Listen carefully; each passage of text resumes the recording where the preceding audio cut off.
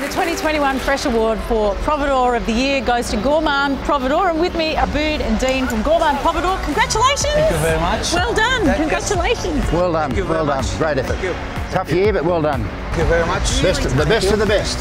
Thank you. Proud. Now, Abboud, Tell me about what you do. We supply the hospitality industry with fruit and vegetable and value-added product like um, peel and some specialty mixes that we make ourselves. We are based in Sydney markets and we, we get access to the produce daily. I do the buying for my company and we buy and deliver on the same day.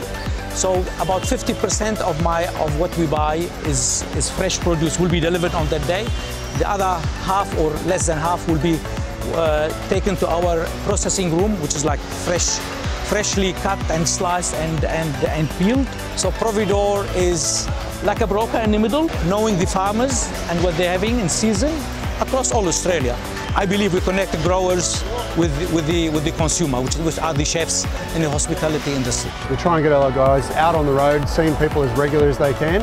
And it's trying to, that connection that Abboud spoke about, we get the information from the farmer, from the grower. We need to get that to the chefs so that they're putting the best produce that's in season on their menu. I, I believe the growers are the most important part of the whole chain. So, growers will be happy with that. Yeah, so I believe when I say I am a middleman, we're trying to bridge that gap. Yeah. We're getting the information both ways, and it's an exciting job for us because it's feeling of achievement, not in monetary item, but because we are part of that chain.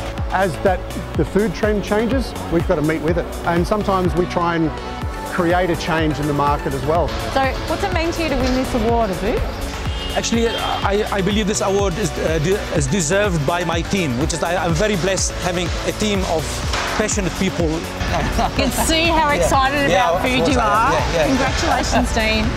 Congratulations, Abboud. Thank you very much. I appreciate that. Thank you, Love Sydney your Markets, passion. and, and uh, thanks for the, that recognition. Uh, thank you very much.